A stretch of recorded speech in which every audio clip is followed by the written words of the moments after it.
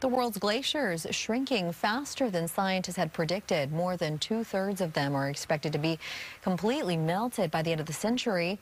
That would increase sea levels by four and a half inches. And scientists say how fast they melt just depends on how much the world continues to warm. Right now, the world is on track to warm up by about 5 percent.